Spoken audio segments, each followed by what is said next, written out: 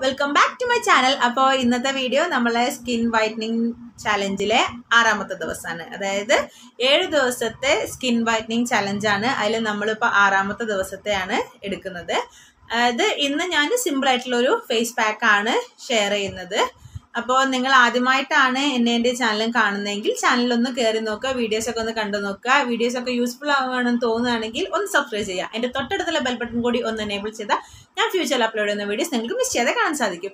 അപ്പോൾ നമുക്ക് നേരെ വീഡിയോയിലേക്ക് കിടക്കാം അപ്പോൾ ഇന്നത്തെ ഫേസ് പാക്കിൽ ഞാൻ ഉപയോഗിക്കുന്നത് വെച്ചാൽ നമ്മളെ കൊറിയൻ സ്കിൻ കെയറിലൊക്കെ നമ്മൾ കുറേ കണ്ടിട്ടുണ്ടാവുമല്ലോ. എന്താ ബോയിൽഡ് റൈസ് അപ്പോൾ അങ്ങനത്തെ ഒരു വെച്ചുള്ള ഒരു സിമ്പിൾ ആയിട്ടുള്ള ഫേസ് പാക്കാണ് ഞാൻ ഇന്ന് ക്രിയേറ്റ് ചെയ്യുന്നത്. അതായത് നമ്മളെ ചോറില്ലേ? ചോറും പിന്നെ അതിലേക്ക് വേണ്ട രണ്ട് ഇൻഗ്രീഡിയൻസ് ഉപയോഗിച്ചുള്ള ഈസി ആയിട്ടുള്ള ഫേസ് പാക്കാണ് ഞാൻ ഇന്ന് ഉണ്ടാക്കുന്നത്. സോ കീപ് വാച്ചിങ് അപ്പോൾ ഈ ഫേസ് പാക്കിൽ നമുക്ക് ആദ്യം പ്രധാനമായും വേണ്ടത് നമ്മൾ വേവിച്ച ചോറില്ലേ? അതാണ്. റൈസ് വേവിച്ചത്. ഏത് റൈസും എടുക്കാം. നമുക്ക് എന്താ റൈസ് നന്നായിട്ട് നല്ല സ്കിൻ വൈറ്റൺ ചെയ്യും ബ്രൈറ്റൺ ചെയ്യും എന്നൊക്കെ നമുക്ക് അറിയാവുന്നതാണല്ലോ. നമ്മൾ എന്താ ഈ ചോറ് എന്താ അരി സോക്ക് വെച്ച വെള്ളം ഉണ്ടാവില്ലേ? അല്ലെങ്കിൽ കഞ്ഞിവെള്ളം. അങ്ങനത്തെ ഒക്കെ നമ്മൾ മുടിക്കും മുഖത്തിനൊക്കെ ഉപയോഗിക്കുന്നതാണ്. അതേപോലെ തന്നെ നല്ല ഗുണങ്ങളുള്ളത് തന്നെയാണ് ചോറിലും. അപ്പൊ നമുക്ക് ഇതിക്കുള്ള ബാക്കി കാര്യങ്ങൾ നോക്കാം. അടുത്തേ വേണ്ടത് ഒരു അരമുറി നാരങ്ങയാണ്. ഓക്കെ നമുക്ക് ഇതിലേക്ക് തന്നെ ചേർത്ത് കൊടുക്കാം.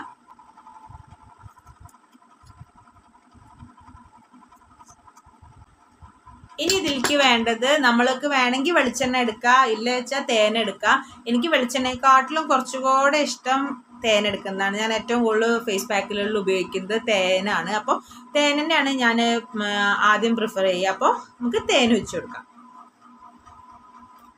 ഇത് ഞാൻ ഈസി ആയിട്ട് എടുക്കാൻ വേണ്ടി ചെറിയൊരു പാത്രത്തിലേക്ക് ആക്കിയതാണ്. ഇത് നാടൻ തേനാണ്. ഞാൻ വലിയ ബോട്ടിൽ വാങ്ങിയിട്ട് നമ്മൾ എളുപ്പത്തിന് യൂസ് ചെയ്യാൻ വേണ്ടിയിട്ട് ഞാൻ ചെറിയ ബോട്ടിലേക്ക് മാറ്റുന്നതാണ്. അപ്പോൾ ആവശ്യത്തിന് നമുക്ക് ഒഴിച്ചു കൊടുക്കാം.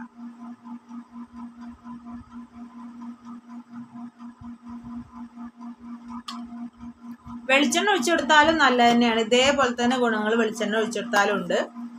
എനിക്ക് വെളിച്ചെണ്ണയോട് താല്പര്യം ഇല്ലാത്തതുകൊണ്ടാണ് അല്ലാതെ അതിന്റെ ഗുണങ്ങൾ ഇല്ലാഞ്ഞിട്ടല്ല. നമുക്ക് ഇത് എന്താ മിക്സി ഒന്നും ഉപയോഗിക്കേണ്ട ആവശ്യമില്ല. നമുക്ക് ഈ സ്പൂൺ വെച്ച് തന്നെ ഇങ്ങനെ ഉടച്ചു കൊടുക്കാം. കാരണം നമ്മൾ ചോറ് നന്നായിട്ട് വേവിച്ചാൽ മതി. നന്നായിട്ട് വെന്ത ചോറാണെങ്കിൽ വേഗം ഉടഞ്ഞു കിട്ടും. അപ്പൊ ഇങ്ങനെ ആക്കുന്നതാണ് കുറച്ചുകൂടെ നല്ലത്. അത് കൈ കൊണ്ട് തന്നെയാണ് ഉടച്ചത് കണ്ടില്ലേ? കൈ വെച്ച് തന്നെയാണ് ഉടച്ചത്. ചെറിയൊരു തൈ പോലെ ഉണ്ടാവും. കുഴപ്പമില്ല. നമുക്ക് ഇനി ഇത് അപ്ലൈ ചെയ്യാം.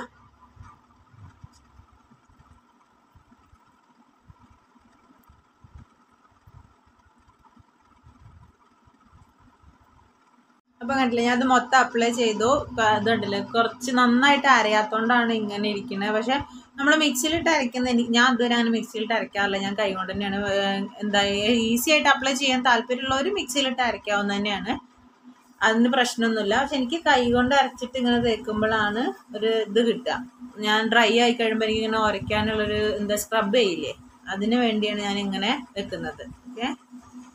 അപ്പൊ ഇതൊരു ഇരുപത് മിനിറ്റ് വെച്ചിട്ട് നന്നായിട്ട് ഡ്രൈ ആവും. നന്നായിട്ട് ഡ്രൈ ആവും എന്നിട്ട് സ്ക്രബ് ചെയ്തിട്ട് വേണം കളയാൻ എന്നിട്ട് ചെറിയ എന്താ പറയുക മോയ്സ്ചറൈസർ ഉപയോഗിക്കാം. അപ്പോൾ ഇരുപത് മിനിറ്റ് കഴിഞ്ഞ് കഴുകി കളഞ്ഞിട്ട് വരാം. അപ്പം ഞാൻ സ്കിന്നെ നന്നായിട്ട് മോയ്സ്ചറൈസ് ചെയ്തു. എന്താ ഇപ്പം കണ്ടില്ലേ?